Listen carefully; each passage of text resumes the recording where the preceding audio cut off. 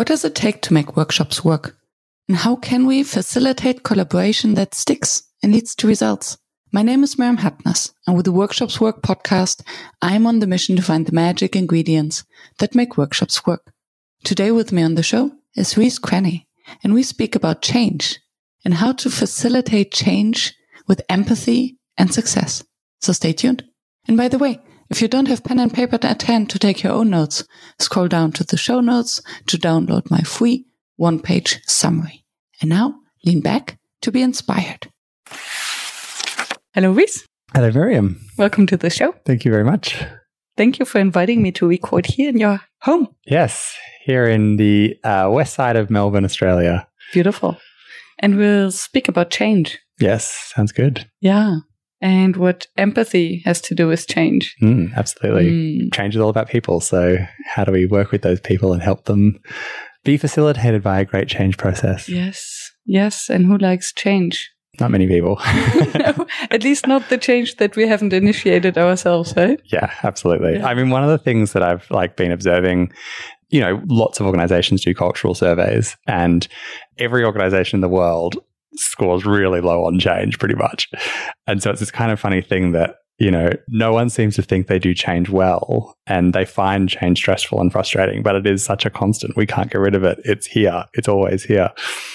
And I even I read once that the most successful change projects are those that communicate what remains the same. Yeah, absolutely. And I think, you know, those sorts of things give people a sense of like there is some stability, you know, something to actually hold on and kind of go, okay, well, it's not the whole world isn't ending. We do still have something that we can rely on. Yeah. And before hitting the record button, you're sharing some insights about the project you're currently working on. And you mentioned that the internal discussion whether to start the change process already or whether to wait until the change is really happening. Yeah. And what are the pros and cons of preparing an organization slowly that change will happen versus ripping the band aid off mm. and just initiating the change right away? I'd say it depends on the change itself, obviously, but there's, I think it's kind of when you have people sitting in uncertainty. And so if you have a change that you can do where you can go, all right, here's what it's going to look like. Here's what we're trying to change. Here's what we're trying to achieve and do that pretty quickly. You know, sometimes that can be better than spending more time doing the planning and working out who are we going to engage in what order and what time because ultimately it's that sort of when people are sitting there waiting, wondering what's going to happen, mm. they start thinking about the worst and start imagining that it's possibly going to be so much bigger than it really will be. True, which reminds me of one thing that we dislike even more than change, which is uncertainty. Yeah, completely. Yeah. Because people want a sense of control. And if you, I mean, if you are creating a change, if you're driving a change, like that can be quite empowering because there's something that you're in control. You've, you've kind of, you know, you're the one doing it. But if it's kind of happening to you, I mean, you, we, we look at like the COVID experience that we've all been through. Like that was a change that was monumental. And like, actually, probably the worst bit of it was the uncertainty of like initially, what is this? What does it mean? And you're kind of sitting there a little bit scared because you don't know how bad this virus is going to be, or you don't know like how you catch it or how it's transmitted. You know, there's so much uncertainty around how it transmits. And then once we kind of worked that out a bit, you were still a bit like, oh, if I go out in this place, is that going to be safe? Like there was, it was that sort of stress of the unknown that was kind of the big factor.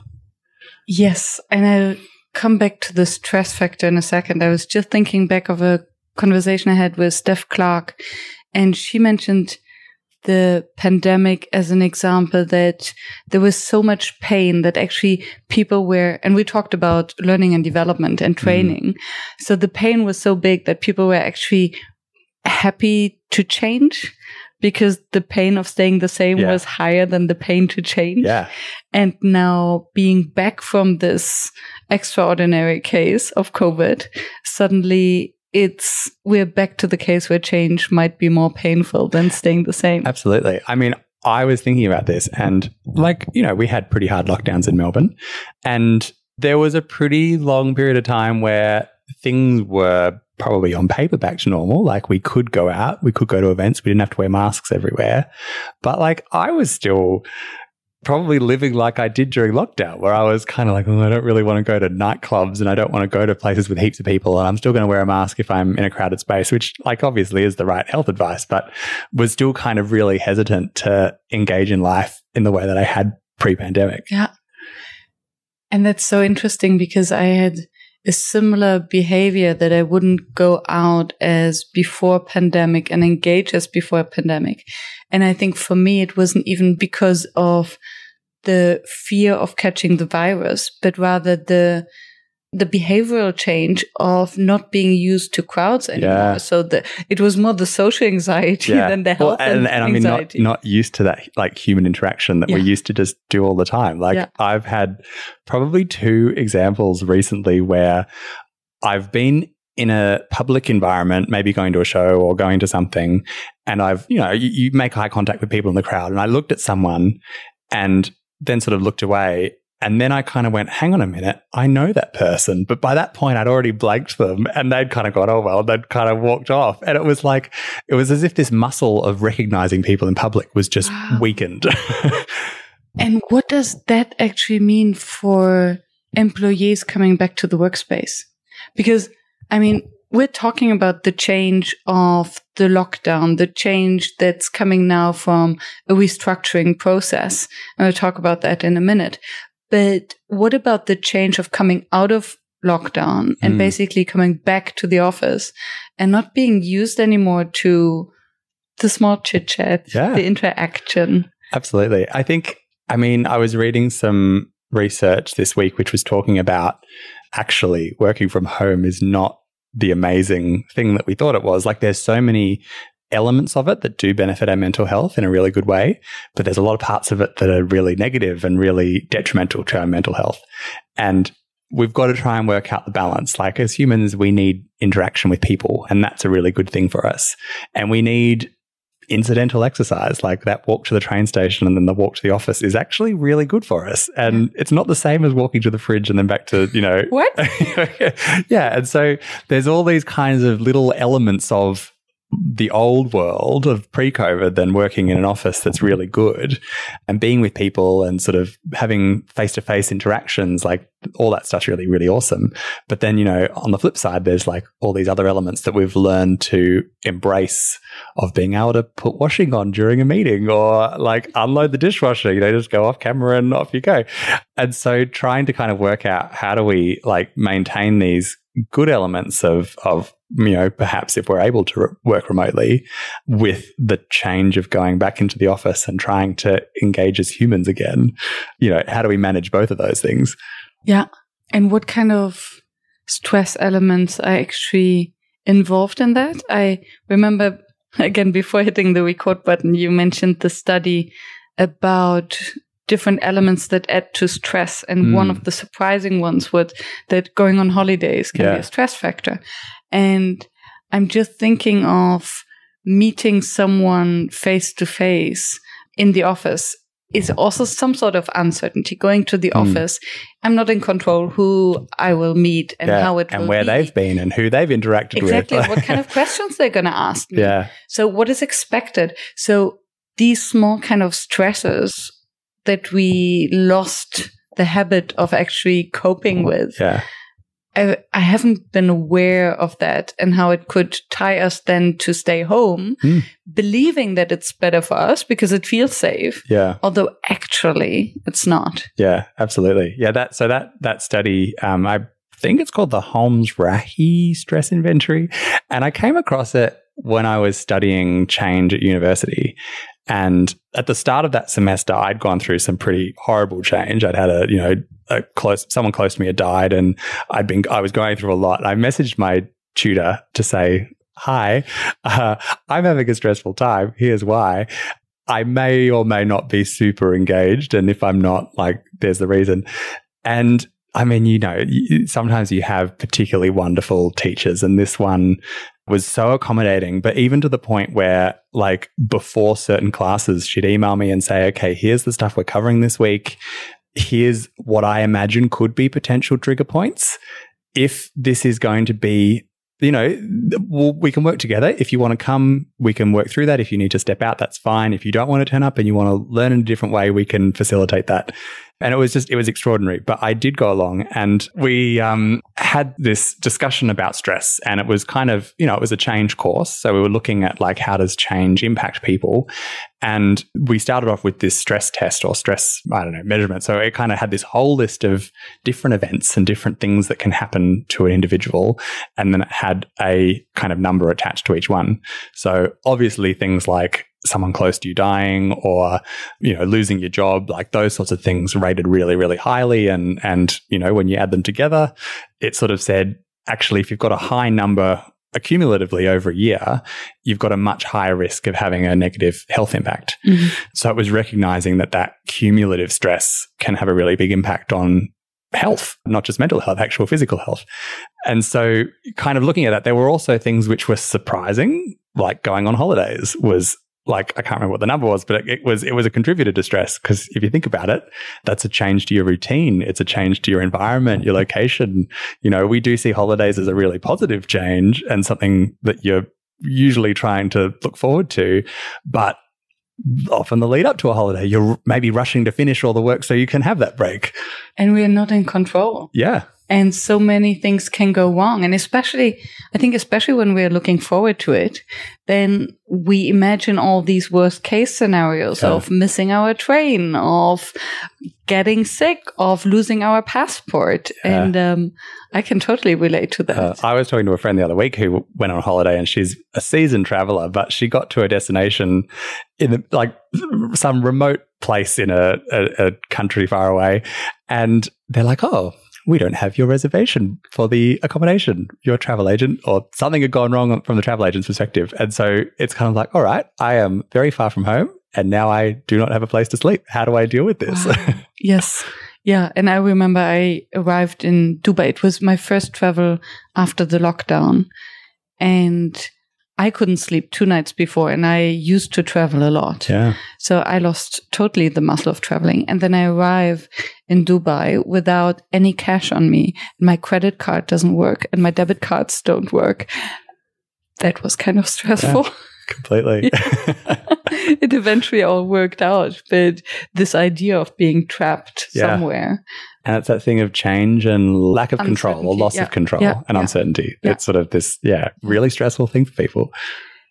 So bringing all of this back to the corporate or to the organizational context, what does it then mean for a successful change process?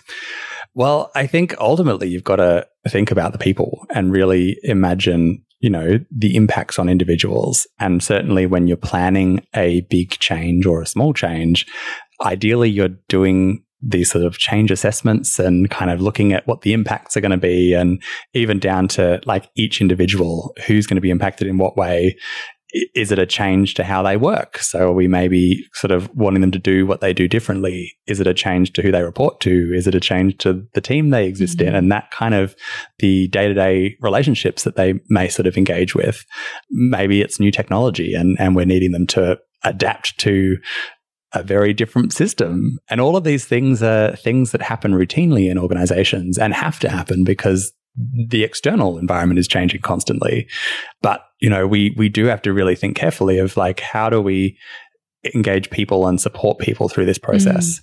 and give them that sense of autonomy and direction and, and participation. Yeah. Yeah.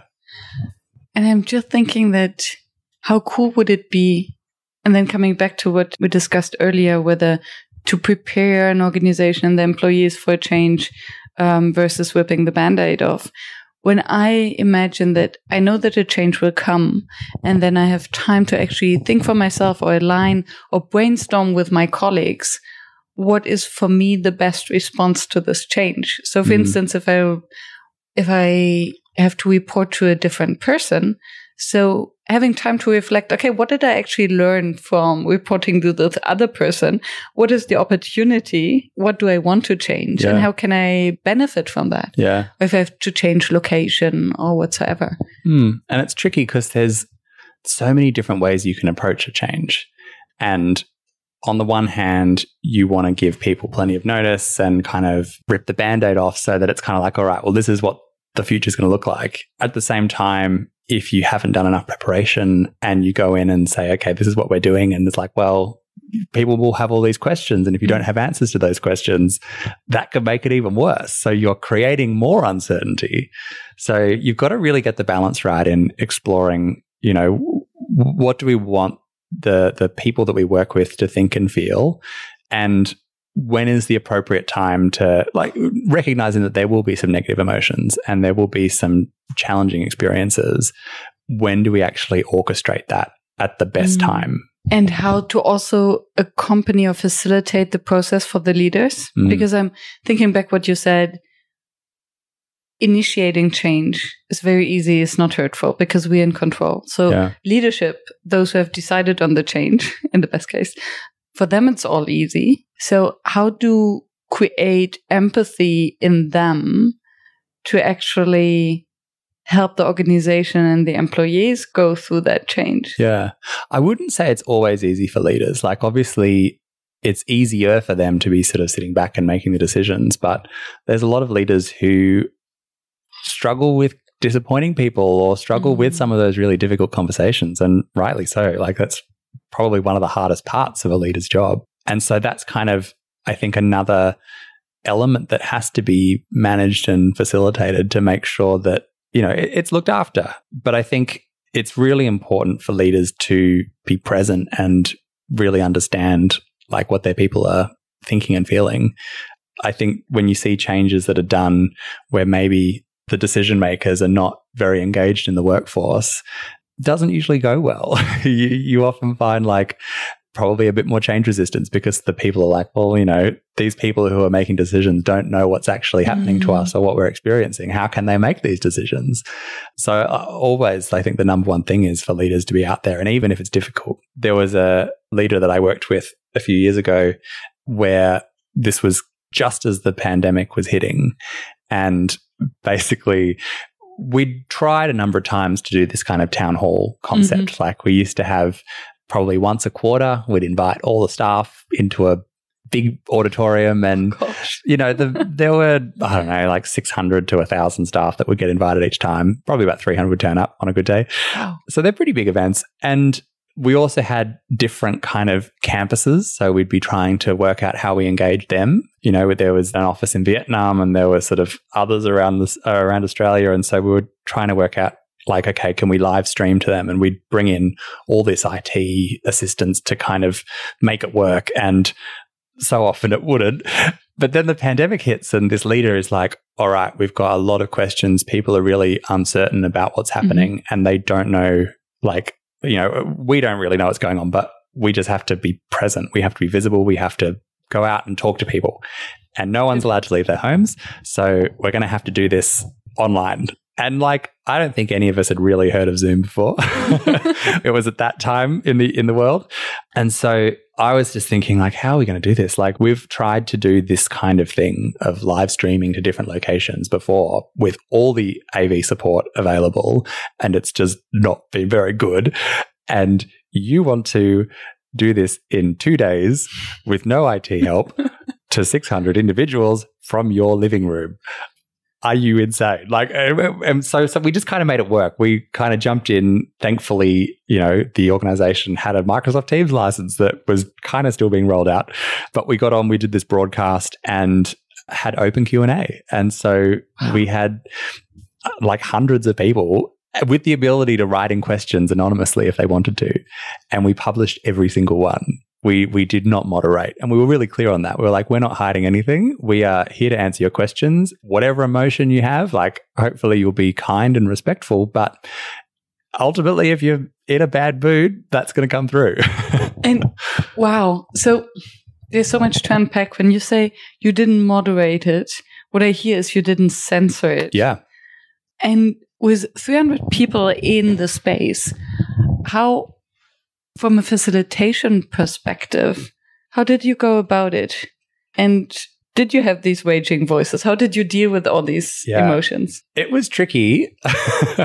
we we I think initially sort of started off with a bit of a script, and so we had okay, here's the key messages. Here's the presentation that we want to deliver. So here's what we know. And then we just went into open Q&A. And that worked really well. Like we didn't have kind of people jumping on yelling. It was all the Q&A was through chat, which was beneficial. But as I said, we published every single question that came in. And so we were in the moment kind of reading the responses and, and this leader that I was working with did it brilliantly. Like she would see what was coming in and go, you know, if there was a particularly pointed one, you know, she'd go, I can really hear the frustration in this question and I totally understand it. And just have this moment of acknowledging mm. the emotion that was there. And it, yeah, it was extraordinary. And afterwards, like there were messages pouring in saying, well, thank you, first of all, but also like that was really brave. Like it's, you know, I think pretty unusual that you do have a leader that is so comfortable and confident just to throw themselves to the wolves and go, I'm just going to have to deal with this because that's what my role is. Yeah. I, I have to assure these people. And whatever that takes, I'm going to do it. It was yeah. amazing. And I wonder what there is to learn from this. It was a, an exceptional situation which called for an exceptional response. And what holds us back? Well, the question is, did this continue after the pandemic or? Yeah. Because what holds us back or what holds organizations back to have a similar compassionate response to emotional reactions to change yeah. under more normal circumstances. Yeah. Well, we actually kept doing these events every single week. like every usually Thursday for an hour and it just it became like a variety show. And so my job as the communications manager suddenly had shifted. I mean, we were still doing the newsletters and still doing, you know, all the normal com stuff that we did, but it suddenly turned into like TV production. and so each week I was working with all these different people to curate an hour variety show where we'd have different guests and we'd had like, you know, someone come in and do a musical performance, which was amazing. And then a few weeks later, the guy who did the musical performance got injured and passed away. And so then we had to like facilitate this kind of grieving process. And we brought in a counselor and we talked about kind of all of that. And, and, and you know, it was, it was insane. Like the sorts of experiences we worked through together in this like quasi TV show. It's corporate group therapy. It was. It absolutely was. And I mean, as well, at a time when everyone was stuck at home in lockdown, mm. we had people saying that that was like the hour every week that they looked forward to the most. Wow. Because it, they felt connected to their colleagues, they felt informed by their leader, and it was a little break from the mundane. That's beautiful. And when I think of a town hall, I think of all these people sitting in rows yeah. watching the stage. And the equivalent in Zoom would be everyone just being there in a big plenary looking at the leader. Yeah. As one of the tiles. Did you use any breakouts or anything to connect the audience? Or was it really we're all in this one room together yeah. and go through this? In these ones we didn't have kind of like random people dialing in. It was it was fairly managed from that perspective, but we did have open chat. So yeah. the chat function kind of became how everyone was communicating. And so, you know, you'd, you'd have, I don't know, the leader would get on and be like, hang on, I'm getting, I've had some tech difficulties. Can everyone hear me? And then suddenly everyone's like, yeah, yeah, we can hear you. And all these messages are coming in. There'd be, you know, questions posted live. And, and, you know, if someone shared something that people particularly liked, they'd go, Oh, wow, that's amazing. Like there was actually this dialogue that just existed between the presenters and the audience. And that's beautiful because it's hard to imagine that actually something with such a big group can be so engaging. Yeah. And I think it might even be more engaging than a in-person town hall because everyone is sitting basically in the first row. Yeah, absolutely. And has the same opportunity to engage and participate yeah. as everyone else. Yeah, it was a lot of fun. And I mean, I think, you know, I've I've moved on from that organization. I think the the leader who I worked with has as well. And now, you know, we're out of COVID and and like perhaps the need for that has changed, but I still think that kind of model has a lot of value. I think bringing people together in the good times mm. when it's not just about like a big change or a big restructure or some kind of thing that's pushing us to do differently, having those moments of human connection mm. just pay off so much more when you do have hard announcements or hard things to work through. Yeah. Because if you've got that trust in the organization already, it pays dividends when the when the t- tough times are there. Yeah, love that. And at the same time, I wonder what's the difference between a change that's put upon us and basically affects everyone in the same time.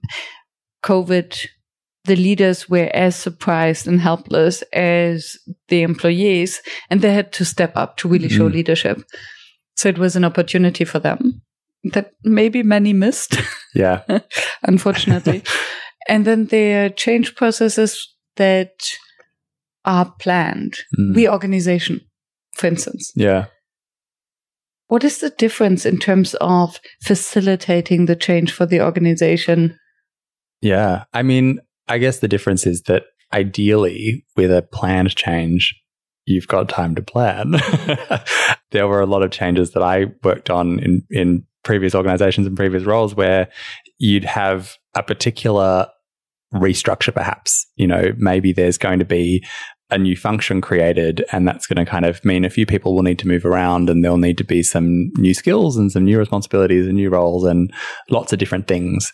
And there was one that I worked in in particular where it was a very long process from a planning perspective because we kind of had this roadmap of all right, we've got to get to this point where we're creating one new division, but in the lead up to that, we've got to land all these other things first because if we haven't delivered these things, we won't be able to get to that final goal. And I mean, that was kind of great from a change management planning perspective to understand what that final goal was because it meant that at mm. every step of the way, we could be trying to build unity. And with every little change that happened, and there were changes to systems and changes to, I mean, we were, we were looking at kind of the agreement that that underpinned employment for everyone. Like mm-hmm. was, that, that was a huge change by itself. But trying to work through all of these different discrete changes in a way that helped contribute to achieving that final one was amazing. and so rarely you get that kind of lead up and vision and plan. And it sounds as if everything would just kind of flow. You know where you want to go. And then you, by backward induction, you know exactly what the next step is and then you deal with humans. Yeah. So, which is the tricky bit. So I imagine you have all this plan laid out, which could be a waterfall model, and still you have to be agile. Yeah. In every implementation step, because everything that you implement will, by definition, have impact on the organization and change the next step. Mm, completely. And and at every step there were things that jumped out that were just like, oh, I didn't see that coming. Where did that come from? And I think that's just part of, you know, being in an organization. You know, you would be working normally and still have those things happen, right? Like yeah. without that kind of we need to move in this direction, there's always going to be stuff that will happen that will kind of be the curveball that you need to respond to. They probably feel a little bit bigger when you've got that plan of mm-hmm. like, this is where we need to go. Suddenly there's things that are pushing us off track. When it's just normal time, like that sort of thing isn't probably as big an issue. So, how do you facilitate then the stakeholder management basically? Mm.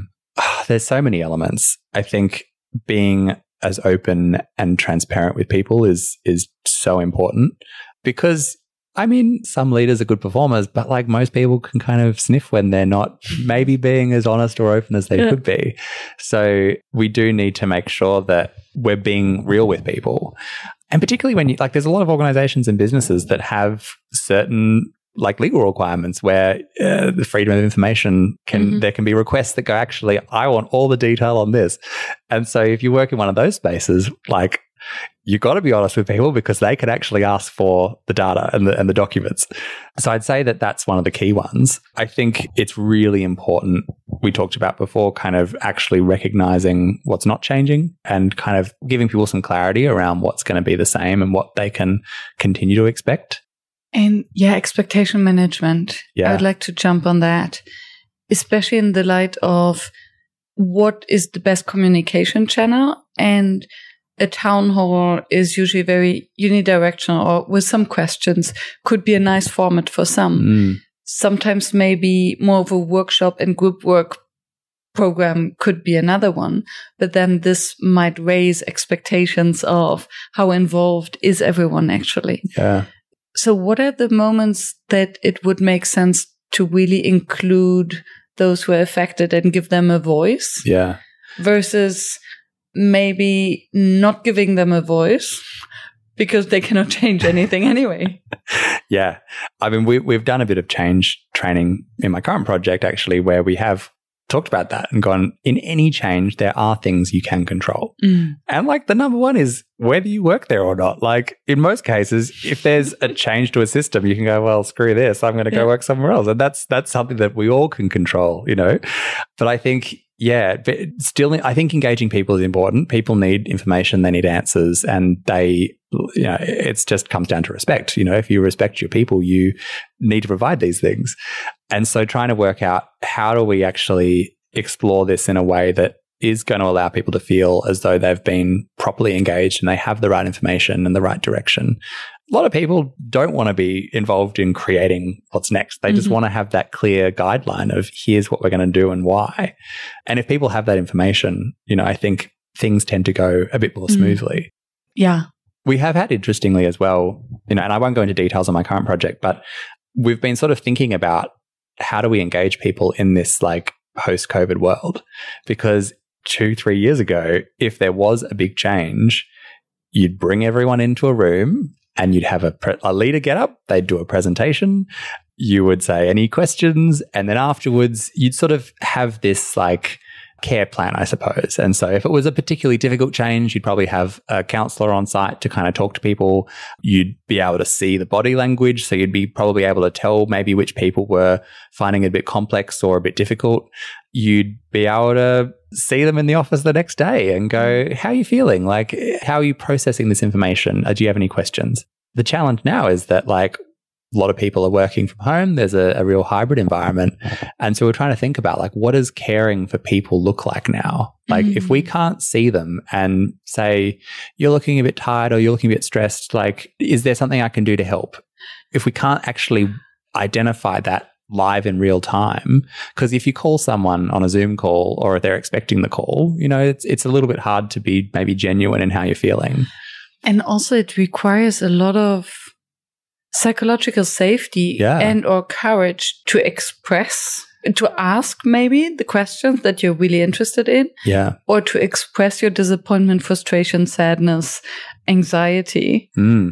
so it's so easy to hide at home coming back yeah. to what we talked about uh, initially and yeah. i like those release moments are so important like you know remember that workshop we did probably yeah. two weeks yes. ago with with michelle where there's a big community infrastructure project happening it's going to be really good in the long run but mean heaps of disruption in the short term michelle you know her beautiful workshop plan was like all right how do we create or work out where these like pressure release moments mm-hmm. are, yeah. where we've got a really passionate community who are really, really concerned and rightly so about what's possibly going to happen.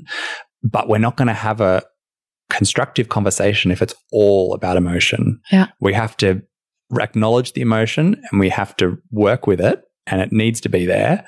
But we also need to be able to look past that and work out like what are our priorities as a community and actually working out how you facilitate those pressure releases yes. is really valuable and really important. I remember, and I think it's um, interesting for the audience how we work together in this kind of experience of the participants of this workshop as they came in. And some of them were really angry when they came in. Yeah. And you were the first point of contact, kind of welcoming them. Would you like a sandwich? the, the look on their faces changed immediately. Yeah. Free food always works. Yeah. And I think you prepared them that there will be a point that they can already share their point of view. Yeah. And then they came to my station, air quotes, where I offered them a pen and paper to put their voice and their opinion, their anger on the wall. Mm. And remember some of them said, I better don't do that because my opinion won't be appreciated. And I smiled at them and said, please do. Yes, it will be appreciated. Now is the time. Yeah. And they were kind of so caught off guard. Like, what? Yeah. I cannot be angry. it's okay. It's okay to be angry. Yeah. yeah. I mean, I remember one of my first jobs was in retail and you'd have someone come in because the product they bought hadn't met their expectations. And they walked in like they were looking for a fight. Mm. And when you listened to them and went, oh, that sounds really annoying, you kind of, there was this look of surprise. And then you actually helped them. And there was kind of like, oh, thank, thank you. And, and they walked out with a smile. And, yeah. you know, people just need to be listened to and have how they're feeling acknowledged and allowed to be legitimate. Yeah. I think as long as they are taken seriously. Yeah. I think the worst is that you smile at them like, oh yeah, it's all okay. But actually yeah. you're not, you're not with them, yeah. not genuinely. And I don't know whether it's related, but a thought that came up in our conversation now a couple of times that change somehow is also related with this deep anxiety of not being good enough. Yeah. So if I was good enough, then nothing would have to change. Mm. So if I'm affected, if something has to change, or if I have to change, it means that it's not good enough yet. Yeah. And how do we acknowledge that? Because I think it's something that we rarely speak about. And it's one of those anxieties we all have yeah. as a human species. And it comes up in change. Completely. Like all those insecurities that we all just carry around when there is a change happening, like they all bubble up to the top. And yeah, totally. I've worked on a number of changes where we've really thought like, okay, well, we're, we're trying to propose this difference in the organization. And maybe it's like a new system or something. And it's like, we're not telling people that everything they do is wrong and that we you know, don't love their work and we don't appreciate them. We absolutely do. We really need them in this organization and they bring a lot of value. But we do need to do this differently for a whole bunch of different reasons. There was one change that I was involved in and working with some really amazing change managers at a university where the university was deciding to bring in a new learning management system. And so this is the system that every single student and every single staff member uses Uh-oh. for everything. like it was just huge. Or, or, or it should have been the system they used for everything. We knew that some were kind of working around it. And so like that's a huge change process. And not only were we getting people onto a new system, but we also wanted them to use it in the same way. And that was difficult because everyone had a different teaching style and everyone had a different communication style. And there was a lot of value in that. But at the same time, we knew from our students that that was really annoying because every time they started a new subject, there was this whole different way of learning that they had to adapt to. And this, like, you know, the information that was in one place for one subject was in a different place for another subject. And at universities, you have the freedom of teaching that every professor is taking advantage of. Yeah. That they are allowed to do it their way. Exactly. How did you deal with that?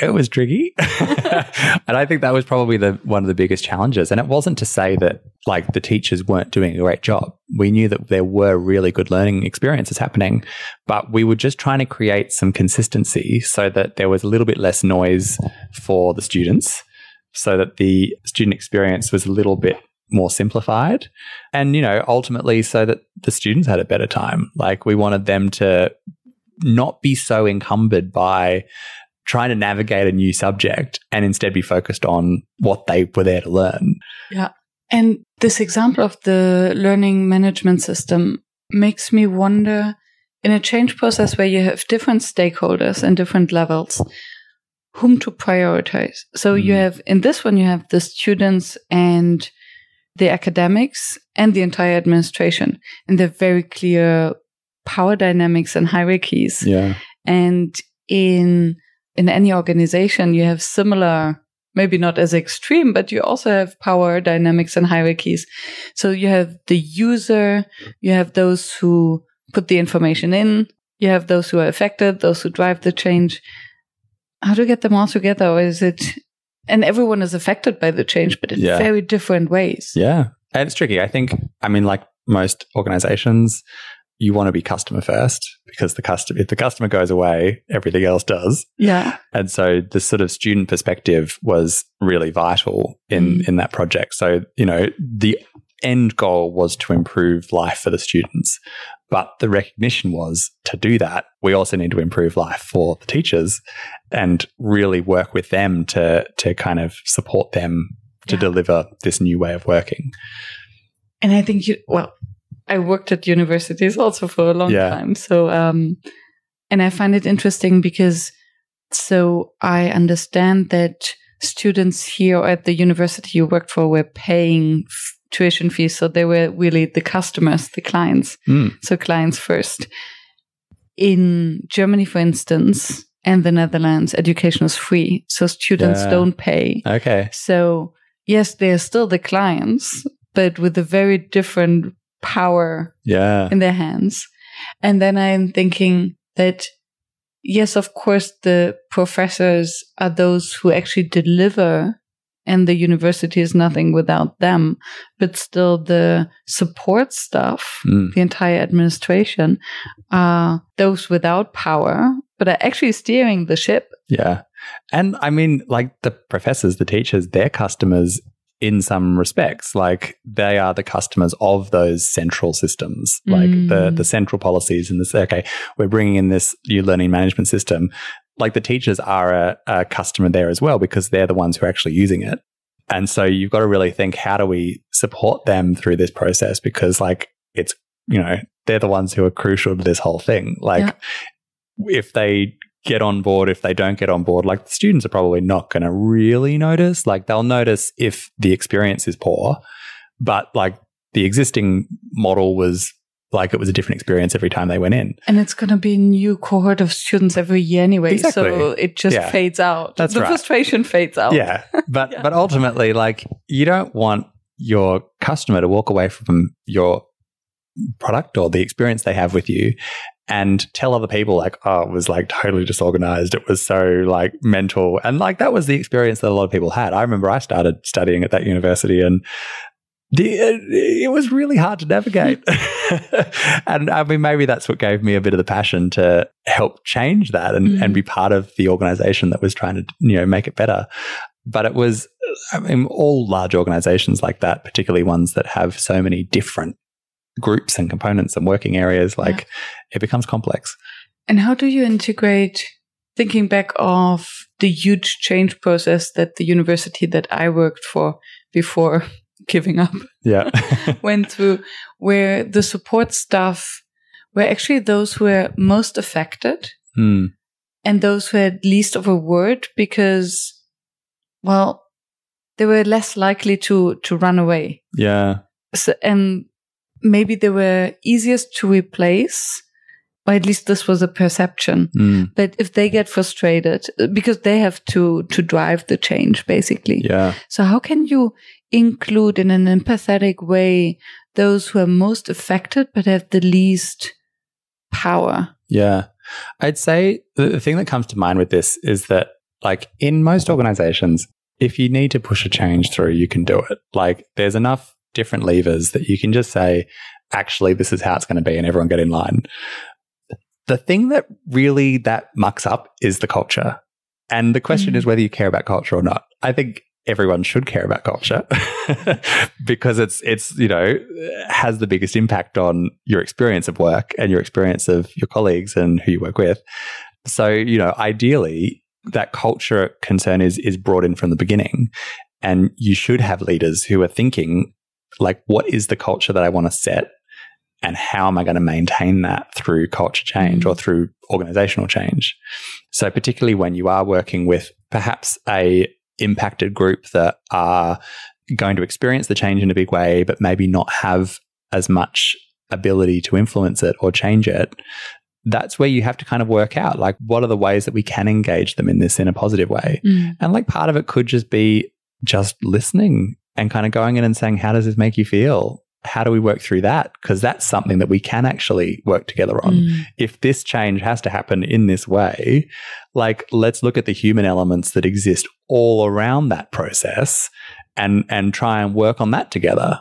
Thinking back of your professor when you went through your change and stress. Yeah. Yeah.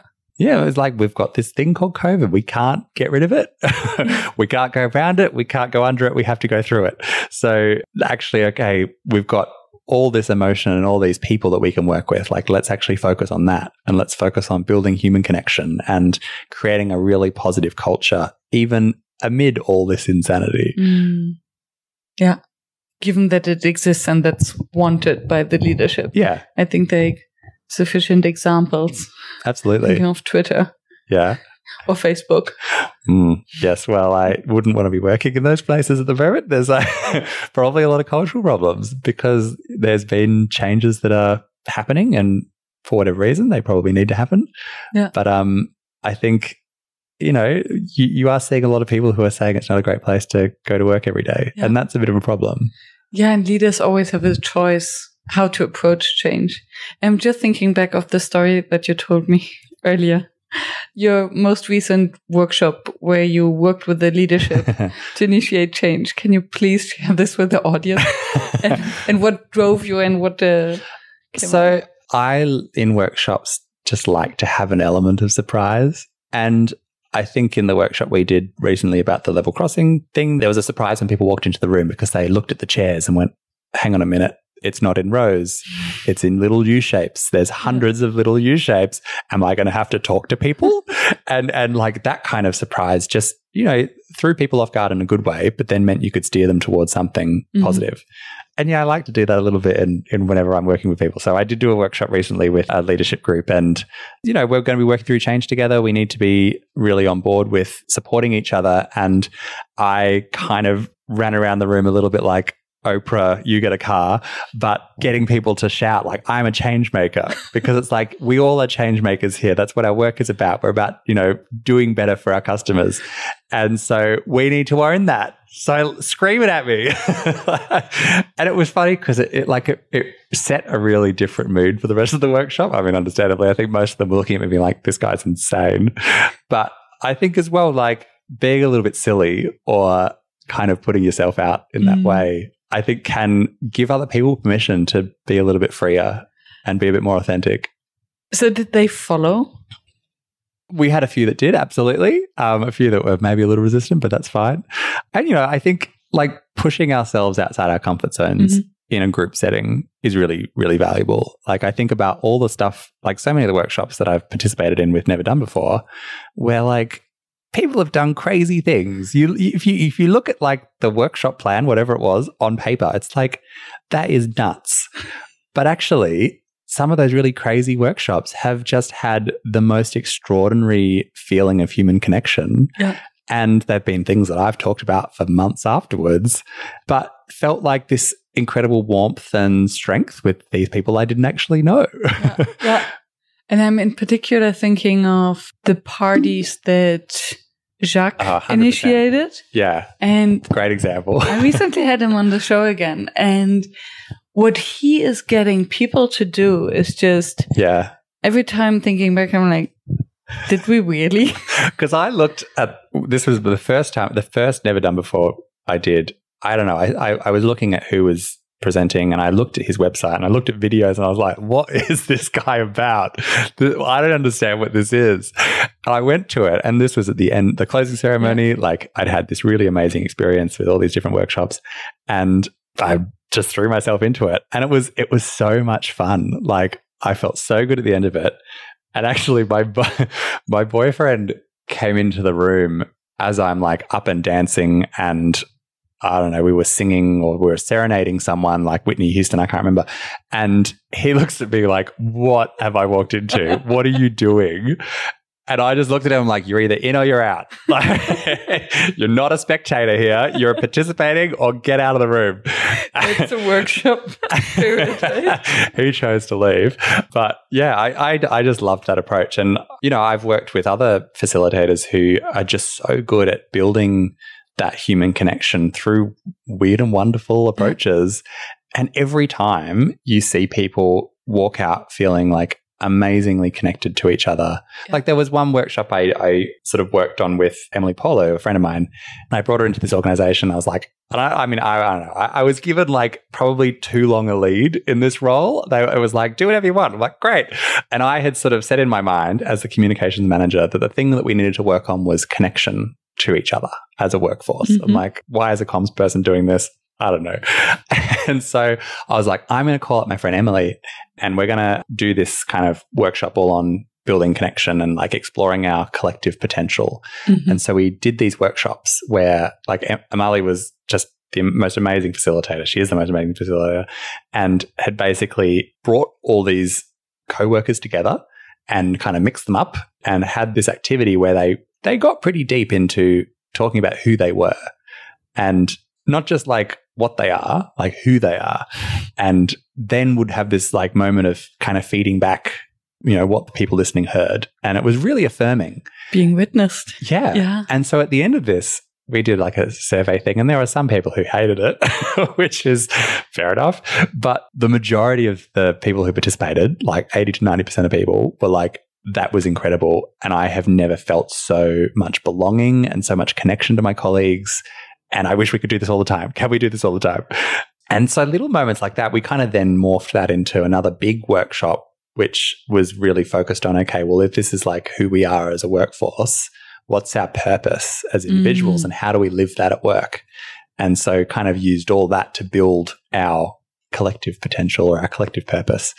And it was just like, I mean, it was the most probably bizarre thing to happen in an organization because you don't see people do that. Like you don't have those real deep psychologically brave moments with colleagues usually but it just created such an extraordinary feeling in the room mm. and and I think that had a really big impact on you know yeah. how we worked together afterwards yeah and what it thank you for these examples I think that's great and so encouraging and what I hear that there are different components a it requires bravery by the facilitator or maybe sometimes overconfidence or a little bit of naivete. Yeah. And then it requires the first or a senior person to actually join and say, hell yes. So when I think of you running through the room with the leadership team and asking them to shout at you, I'm a change maker. Who would be the person to dress first? And as Jacques did it, he usually first as I'm um, the community leader of NDB, he would first ask me to jump in. Yeah. And then I go hell yeah and kind of make a fool out of myself. and then he he usually, I think, and I guess he does it consciously, would then approach the second most senior or yeah. another very senior person who is likely to yes and yeah definitely yeah you you do have to be selective because if you do that sort of thing and it just the first person doesn't engage, you're doomed. So you do have to be planned. And I think I would always go for the most senior person in the room and hopefully like wear them up a bit, kind of say, I'm going to do something a bit unusual. And I just need you to be positive and enthusiastic. Need your back. Yeah. my back. And and so if you maybe kind of, you know, take that approach. But it's about creating a sense of permission. Yeah. And if you've got this either either they're a, a you know a leader in terms of seniority, or perhaps they're a cultural leader that people look up to. Yeah. If they kind of give permission, it gives permission to everyone else. Yeah. And it's, I'm thinking of two things. One is this, maybe it was used in a TED talk, this video of the guy how to start a movement. Yeah. This guy on a yeah, yeah, yeah. on grass dancing like a fool is just a fool. The second one is courageous, but the third one makes it actually a movement. Mm. So the first one without any support of anyone else is just a crazy person. Yeah. Right? You running through the room of the leadership team asking them to shout, you're a change agent. you're a crazy person until the first and the second actually join you. Yeah. As much as Jacques is a crazy person inviting us to dance and jump and sing Whitney Houston. Yeah. Unless we join him. Absolutely. And this makes me think of an experience I had similar to yours with Emily um, at a university and we started a strategy process. And I suggested my boss, who was the uh, uni president, an exercise similar to yours. We're in groups of three, and I learned that from Patrick Cowden, who has been on the show. Everyone shares who am I and why am I here? Yep. And then similar connecting it to the purpose of the university. And the first time we did that with a group of professors, my boss was like, yeah, now Myriam will introduce an exercise and full stop. So he, this was his introduction of me and me for mm. bravery. Then he saw what happened the next time with a new group of participants, professors. He was like, and now Myriam is introducing this exercise and you might think that is kind of weird, but stay with us. It's amazing. You're going to see. and he wanted to participate again. Great. And it was such a difference in the atmosphere and also in my own confidence on how to introduce the exercise mm. to have the most senior person to actually have your back. Yeah. That, yeah, I think warming up a person to endorse you Completely. super important. Yeah. And I mean, it's the same sense when you're like looking at like big change processes in organizations, you need that like senior permission. People look to their leaders so much. It's extraordinary. And if you've got those senior people, be they, you know, people at the top of the hierarchy or be they culture makers, actually having their endorsement and their support of something mm. is is so important because everyone wants to know what are they thinking? Like what decisions are they making? How are they leaning into this? What benefits do they see? Yeah. Yeah, and maybe it's more of our role also as a as facilitators to give them a pep talk once in a while, yeah. more than we actually think. Absolutely, you know, so so much of my work as a communications professional, you know, you it is a lot of working with leaders and going, okay, you are the most crucial part of this whole process. You know, I can write the best speeches, or I can do the best comms plans, or like I can kind of do all of the work around to support this work, but actually I'm not the one delivering it because who cares what I think?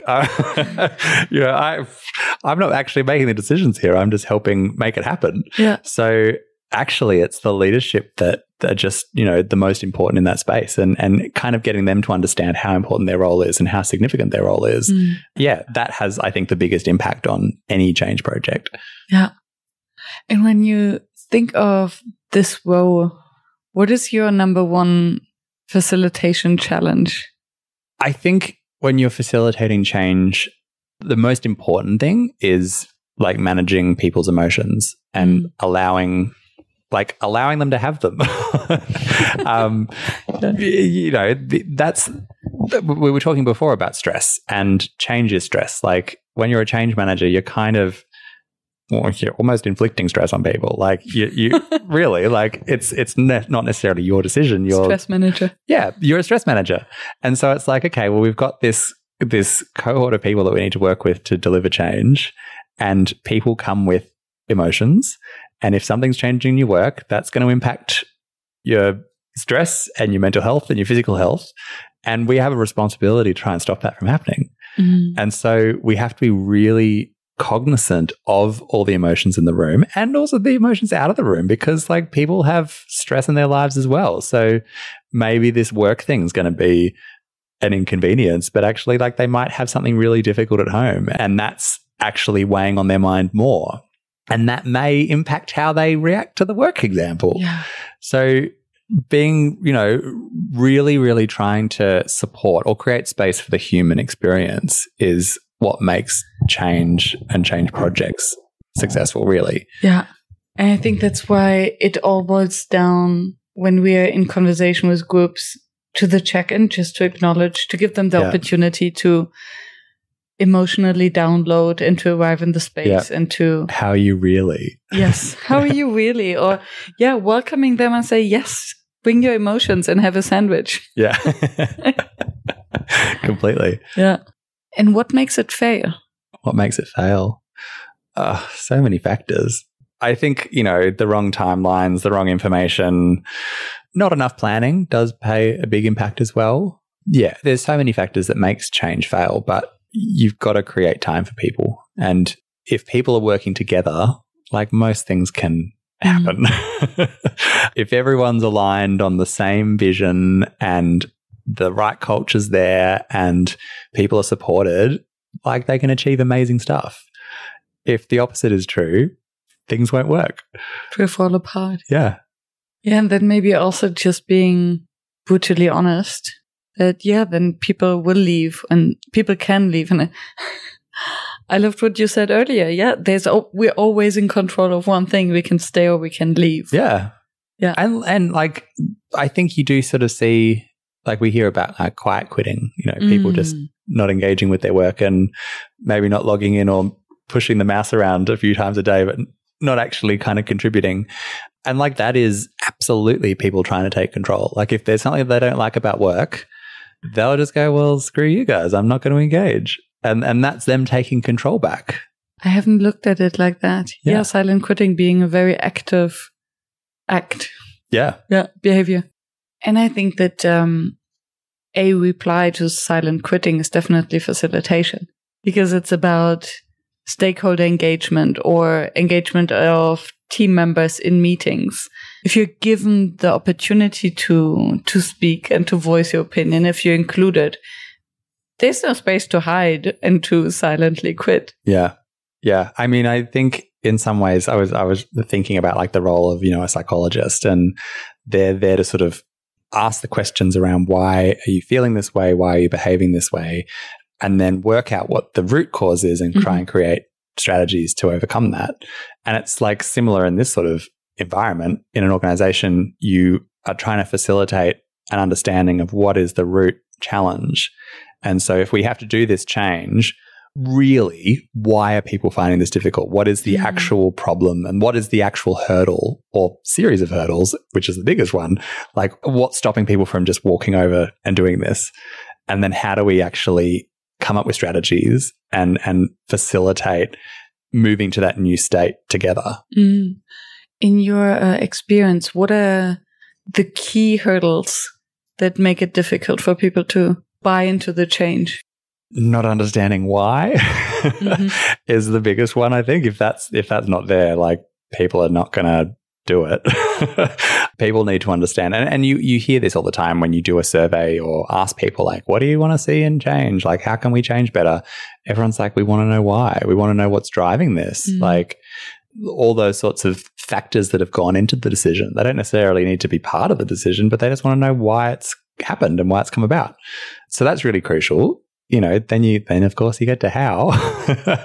so if people can kind of understand why something needs to be done in a different way, you then want to work with them to like work out how they do that and, mm-hmm. and help them understand that and help them practice it or kind of trial different things. You know, maybe that how is something you create together and, and go, okay, well, the why isn't movable. We have to do this, but actually how we do it is, is something we can do together. And that's where we kind of give that or have that control together of working out, you know, how do we collaboratively deliver this? Yeah.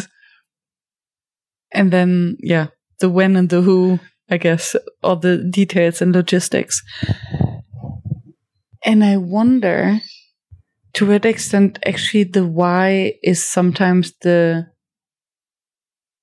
the first block it where it breaks because maybe the leadership also doesn't really understand why. Yeah. And to what extent do you think also with your communications head on is it a communication problem or is it a purpose problem? So maybe some changes are implemented, although there's actually not really a reason, or there's a political reason that nobody dares to speak out mm.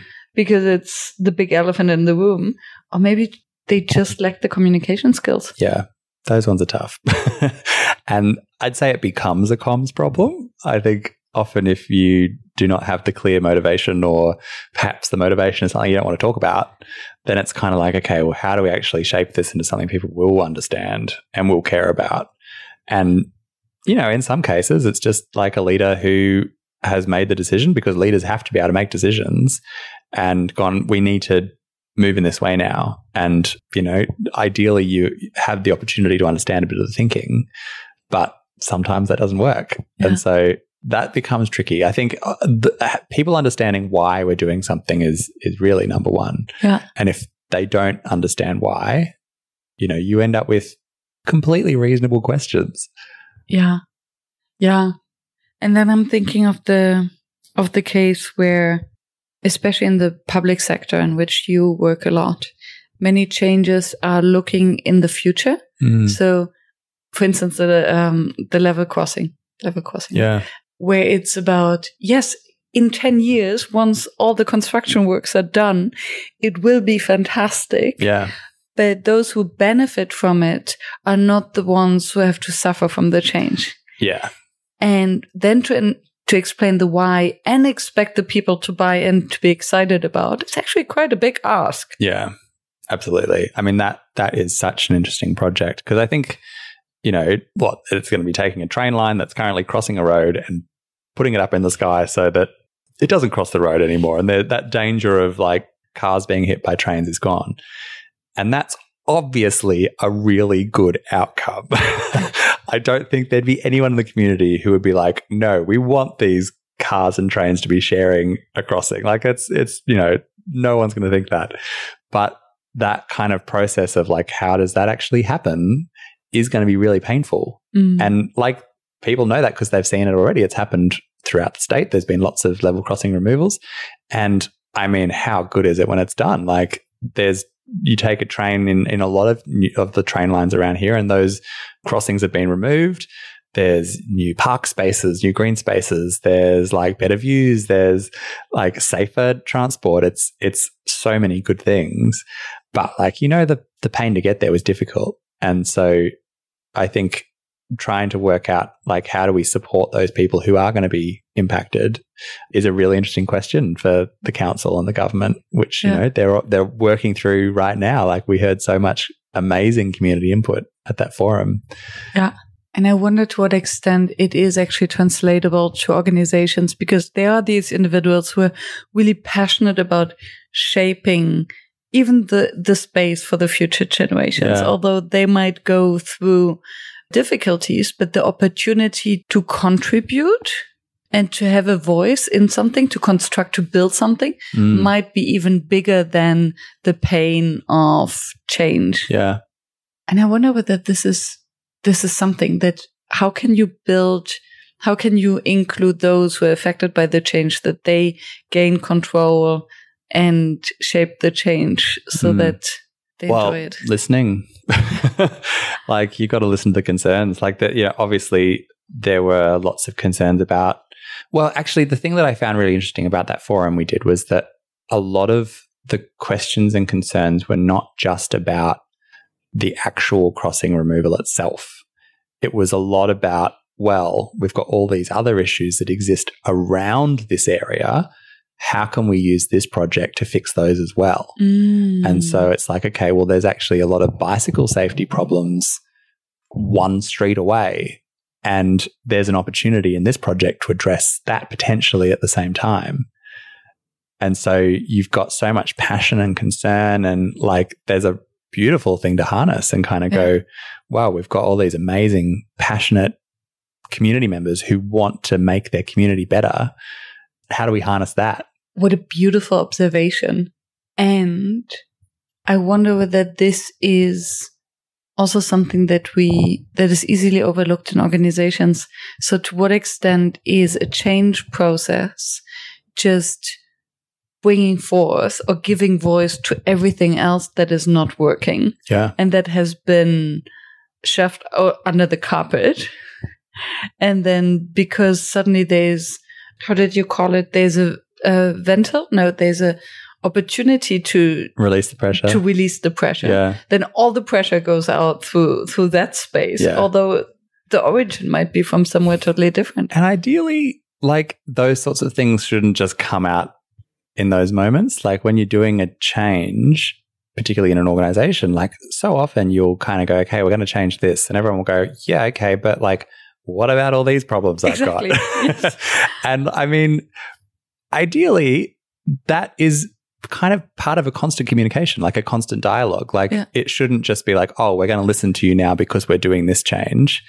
It, there should be a kind of constant conversation around how do we continually make our workplace better yeah. And how do we continually make our products better and how we how do we always improve? And and I think workplaces that have that conversation mm. are ones where people feel like they're listened to and they feel like they can constructively shape the future.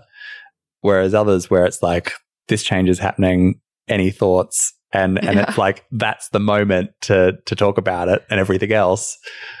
Yeah, and then if then the answer is no, I don't have concerns about this change it's only why are we changing this and none, none of the other things. Yeah. And then I think the biggest mistake to then make is to say, yes, but we're now focusing on that.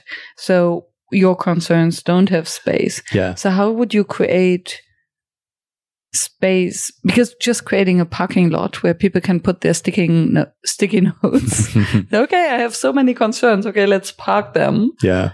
And then what? I don't think that this would really be beneficial. So mm.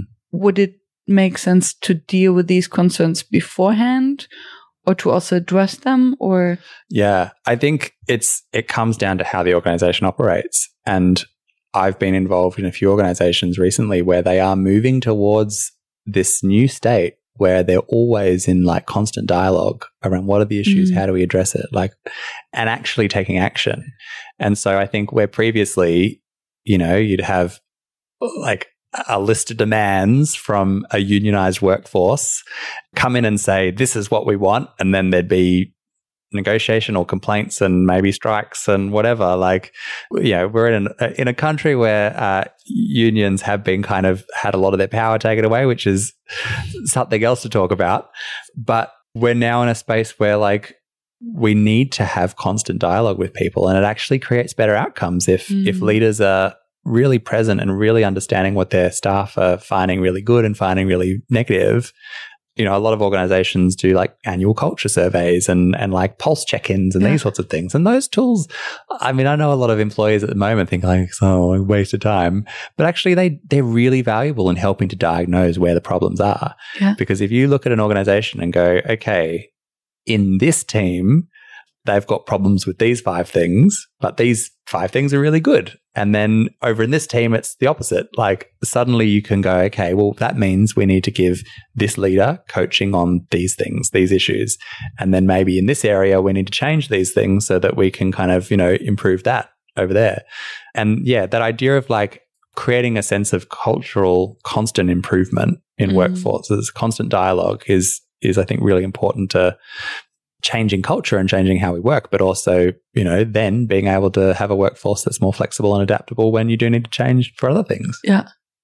What I find interesting is the wording. So constant improvement can also mean, yeah, constant change. So it's not one change project, but it's yeah. just a continuous state of micro changes, micro adjustments. Yeah.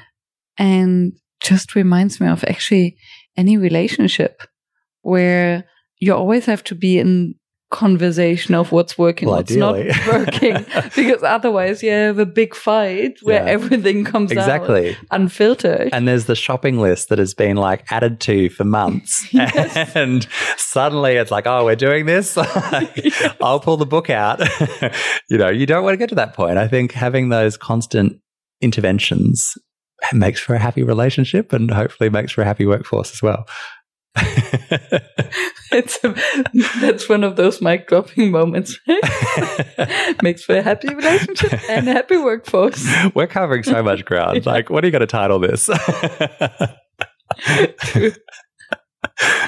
wow. yes.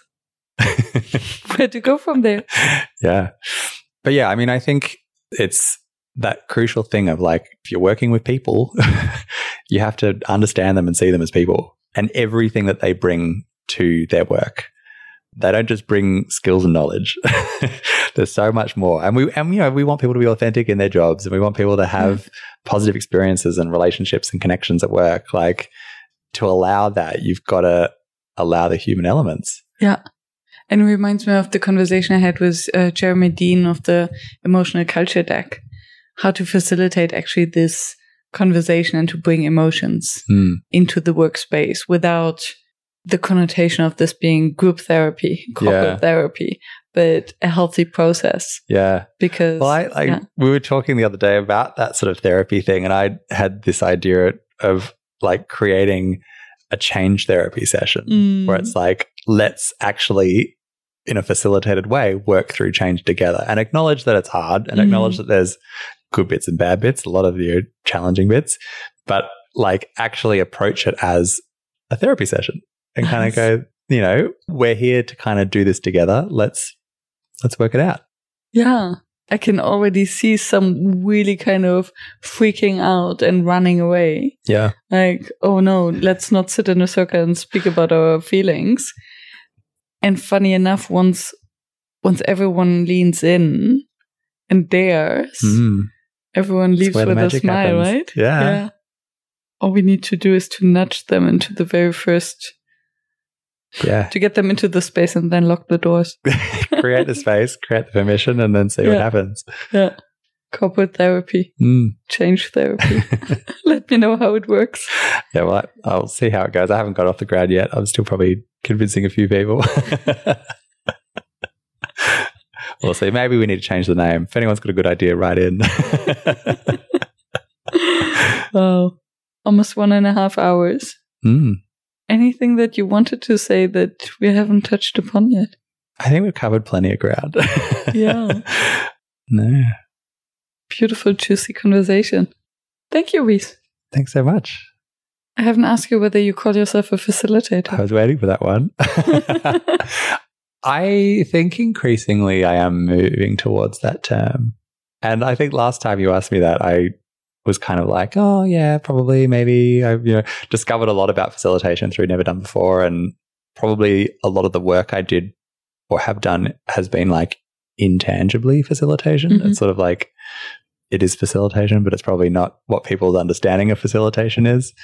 But By probably, that you mean the communication part? Yeah, mm. and certainly thinking about how you facilitate change or how you facilitate great communication in an organization, that sort of stuff I have always approached with a facilitator's mindset, I would mm. say.